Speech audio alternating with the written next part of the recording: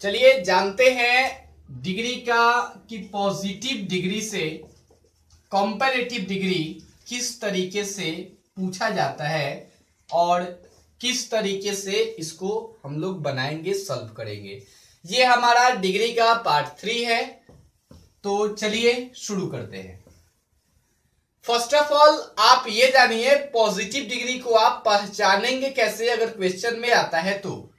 तो इसको पहचानने के लिए आप ध्यान रखिएगा कि क्वेश्चन में अगर टॉल आता है और ये एक पॉजिटिव डिग्री है तो एक तो आप ऐसे पहचान लोगे कि टॉल पॉजिटिव डिग्री है टॉलर कंपेरेटिव डिग्री है और टॉलेस्ट सुपरलेटिव डिग्री है। दूसरा बात कि पॉजिटिव डिग्री जब भी आता है तो उसके शुरू में और लास्ट में एज एज लगा हुआ आता है। ठीक है? तो एज एज लगा हुआ ही आएगा। और जब आप उसको कंपेरेटिव डिग्री बनाओगे तो उसमें कंपेरेटिव के बाद हमेशा देन का यूज़ किया जाता है। हमेशा देन का यूज़ किया जाता है और सुपरलेटिव डिग्री के ठीक पहले द का यूज़ किया जाता है। तो इस चीज़ को आप कभी भूलोगे नहीं। ठीक है? अब आइए जानते हैं कि पॉजिटिव डिग्री से कंपेरेटिव डिग्री बनाने का क्या नियम होता है। तो अगर इसके स्ट्रक्चर की अगर हम बात करें, कैसे बनाएँगे इसको तो स्ट्रक्चर होता है लास्ट सब्जेक्ट लास्ट सब्जेक्ट के बाद लगाना है एक्सुलियरी वर्ब ठीक है?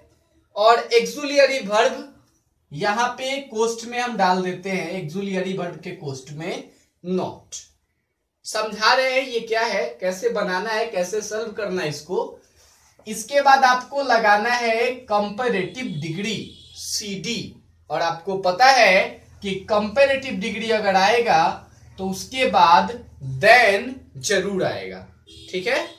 और देन के बाद आपको यूज़ करना है स्टार्टिंग सब्जेक्ट अब इस स्ट्रक्चर को कैसे फॉलो अप करना है, इसके लिए मैं आपके सामने कुछ एग्ज़ाम्पल लाता हूँ।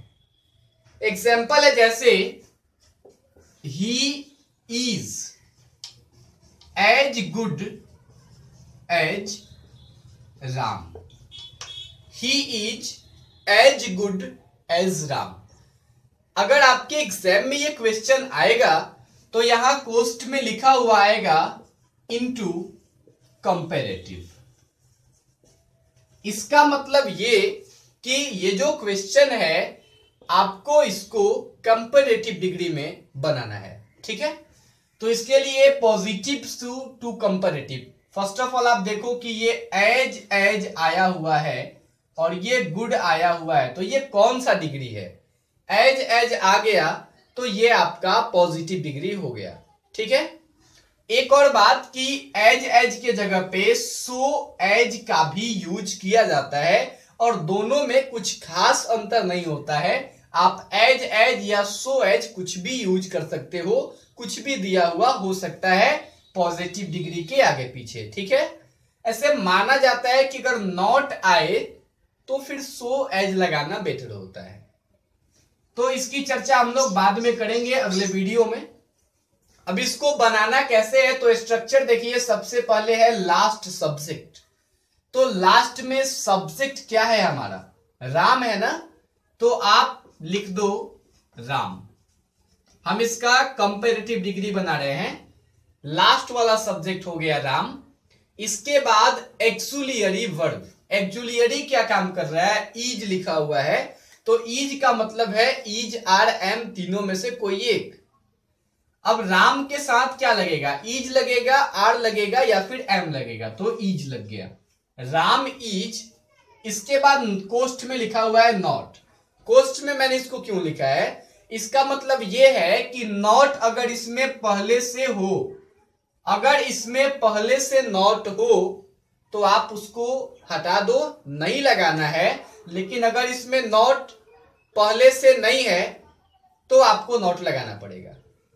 तो चूँकि यहाँ नोट पहले से नहीं है, इसलिए आप यहाँ पे नॉट लगा दोगे। राम इज़ नॉट, हो गया?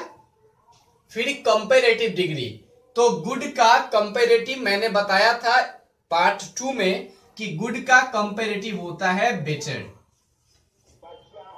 हो गया बेटर इसके बाद देन देन हो गया और स्टार्टिंग सब्जेक्ट तो स्टार्टिंग सब्जेक्ट क्या है? ही है तो ही का ही ही जाएगा। ध्यान रखिएगा, ये वॉइस नहीं है कि ही का आप हिम यूज़ करोगे। ठीक है? तो ये हो गया आपका कंप्लीट बन गया। चलिए अगला एग्ज़ाम्पल देखते हैं। अगला एग्ज़ाम्पल है I am as tall as you एक चीज़ डिग्री में आप ध्यान रखना कि डिग्री में कभी भी अर्थ चेंज नहीं होता है।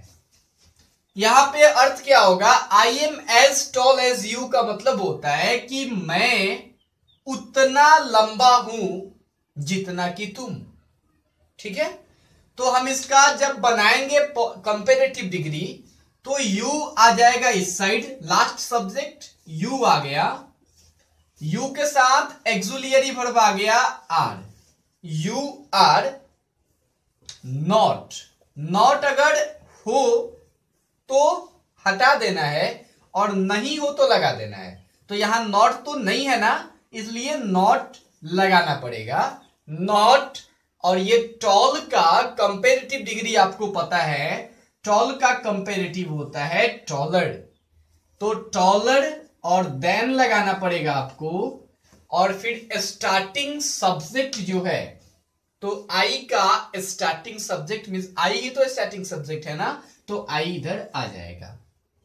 हो गया? ये वॉइस नहीं है कि आप आई का मी करोगे, ये चीज़ ध्यान रखना ओके एक, दो और एग्ज़ाम्पल हम लोग देखते हैं। अगला एग्ज़ाम्पल है आपका।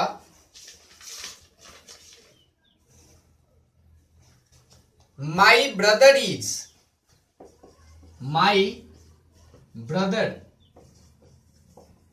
my brother is as a strong as a lion मेरा भाई जो है वो उतना स्ट्रॉन्ग है, उतना मज़बूत है जितना कि एक लायन तो आप इधर से ए लायन लेके आओगे a lion actually verb is लग गया।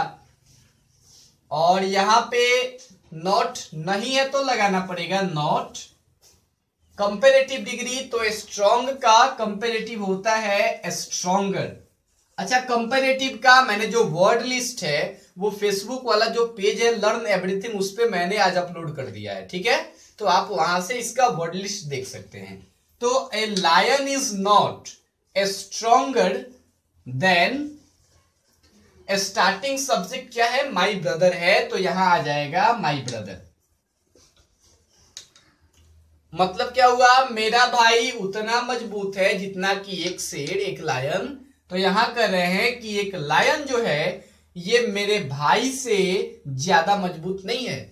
मीन्स ये भी उतना ही मज़बूत है, उससे ज़्यादा मज़बूत नहीं है। इसके बाद हम जो है, कुछ और एग्ज़ाम्पल देखते हैं। यहाँ पे नीचे एक एग्ज़ाम्पल दिया हुआ है।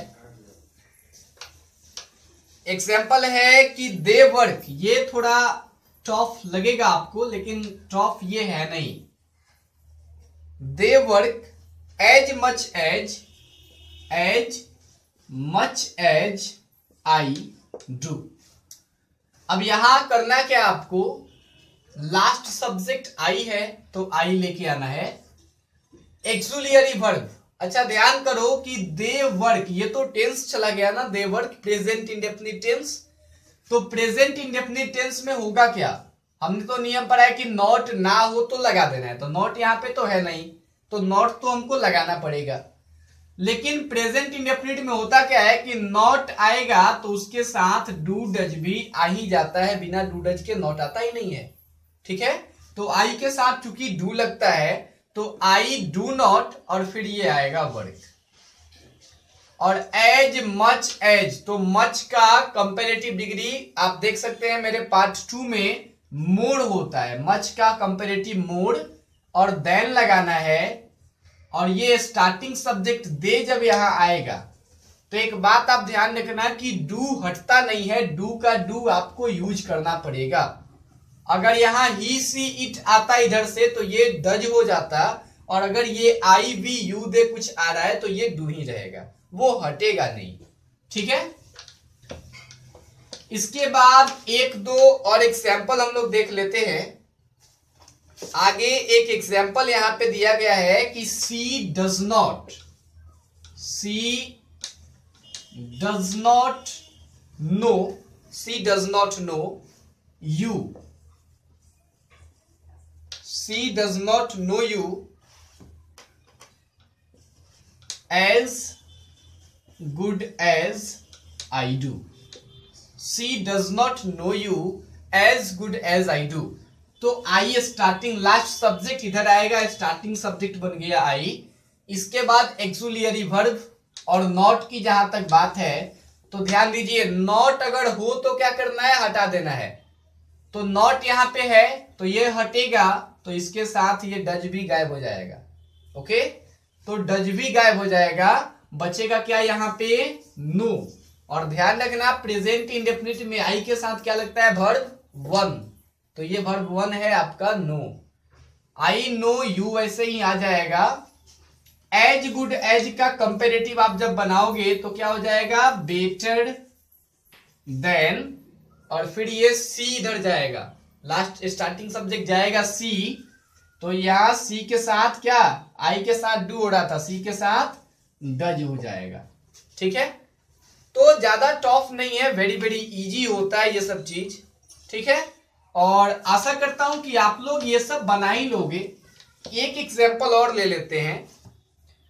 तो he does not run as fast as I as fast as I ये भी बन जाएगा आपसे आई इधर आएगा तो आई हो गया। आपको पता है नॉट हो तो हटाना पड़ता है। लेकिन टेंस के हिसाब से ये यहाँ से डज भी हटेगा और आई के साथ क्या हो गया? रन हो गया। आई रन हो गया। एज फास्ट एज है तो ये कंपेरेटिव चेंज होगा तो आई रन। इसके बाद कंपेरेटिव में क्या हो जाएगा? ये फास्टर देन फास्टर देन हो गया और इधर से ही चला जाएगा तो फास्टर देन ही। एक और बात कि अगर यहाँ आई ना होके कहीं, यहाँ सी होता तो तो सी होता तो अगर यहाँ पे भी सी आता, सीधा सा बात है, लेकिन यहाँ रन नहीं होता, यहाँ रंस हो जाता। यहाँ रंस हो जाता क्योंकि सी के साथ वर्ब फाइव लगता है वर्ब वन नहीं लगता है ओके तो ये सब सिंपल सी बातें आप लोग देख सकते हो। आशा करता हूँ ये वीडियो आपको पसंद आया होगा। इसके बाद मैं जल्द ही पॉजिटिव टू कंपेरेटिव के बाद कंपेरेटिव टू पॉजिटिव लाने की कोशिश करूँगा। Thank you for watching this video